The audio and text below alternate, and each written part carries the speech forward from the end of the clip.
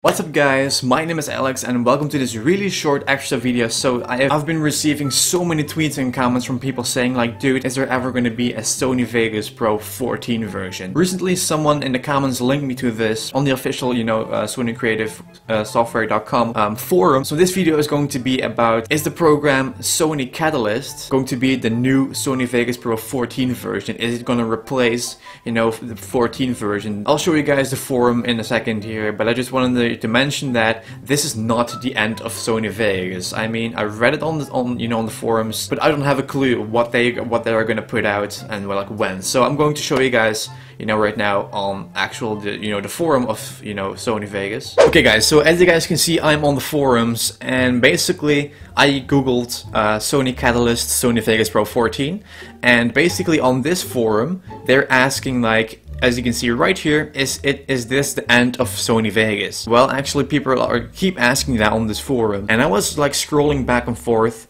and you know I read somewhere that this is not the end, um, because I don't know guys, I mean you guys ask me like I don't know how many times if Sony Vegas 14 is ever going to come out. Like dude I have no idea. I mean it doesn't mean that I have like 80 tutorials about Sony Vegas like over the past two and a half years that I know what's going to come out. I have no freaking idea. I've been following Sony for a long time. I didn't they didn't tweet anything about Sony Vegas. So but as you guys can see um, it's like is Sony Catalyst written by the same people with Sony Vegas? I think Catalyst is made by Sony because it's called Sony Catalyst. Like that's just logic. I don't know what to think. I have no idea uh, if we should expect a Sony Vegas Pro 14 version ever, or if Sony Catalyst is going to be the new or like the replacement uh, like of version 14. So I think you know Catalyst is I think is a program where you can um, like define some some editing and audio effects. I'm not sure, guys. I haven't looked in. You know, I didn't have a look. Uh, you know, yet into that about what what Catalyst is. So I landed on the Facebook page of Sony, and someone asked, "Is this the end of Sony Vegas?" And Sony software actually replies,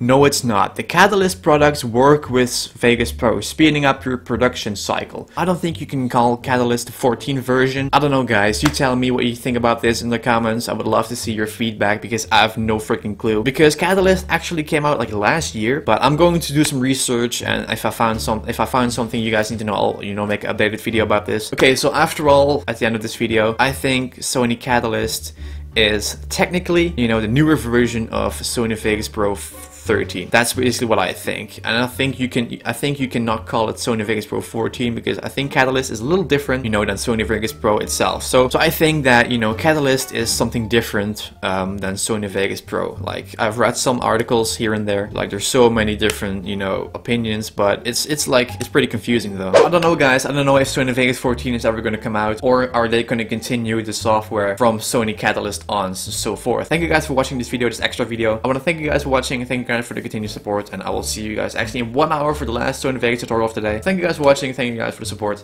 and I will see you guys actually in one hour.